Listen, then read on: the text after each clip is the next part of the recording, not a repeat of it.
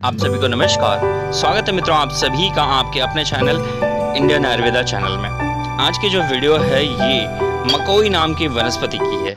मकोई वैसे तो आयुर्वेद के मतानुसार त्रिदोष के दोष को दूर करती है, जैसे कि कफवात पित्त बताया गया है आयुर्वेद में। इन सभी रोगों में ये काम करती है। मकोई थोड़ी सी गर्म है, इसलिए पित्त प्रकृति वालों को थोड़ी सी सावधानी रखनी चाहिए। कम मात्रा में सेवन करना चाहिए।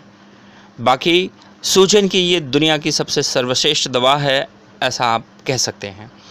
इसका पंचांग यूज़ में लिया जाता है, जड़ के साथ उखाड़ के भी काम में लिया जाता है, या फिर आप इसके पत्ते भी, पत्ते हो गए, फल हो गए, इनका भी प्रयोग कर सकते हैं।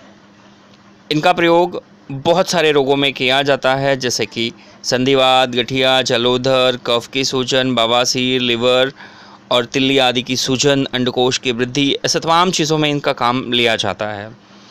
मैं आज इसमें आपको कुछ प्रयोग बताऊँगा जिसका आप लाभ ले सकते हैं। यदि किसी के लिवर में सूजन हो या शरीर के किसी भी हिस्से में सूजन हो तो मकोई का रस, इसके पत्ते का रस निकालें। 10 से 20 एम अपनी पाचन शक्ति के अनुसार दिन में एक से दो बार शहद मिला के लें तो धीरे धीरे शरीर के किसी भी हिस्से की सूजन धीरे धीरे कम होती है।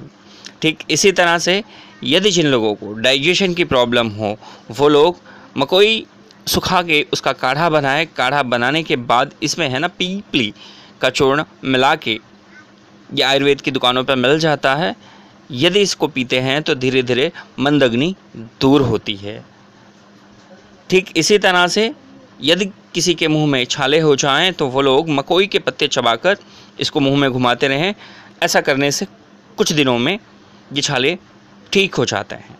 अगर किसी को पी लिया हो तो वैसे लोग मकोई का काढ़ा बना लें, इसमें हल्दी मिलाएँ और हल्दी मिलाकर पीने से पीलिया रोग में बहुत अच्छा लाभ होता है।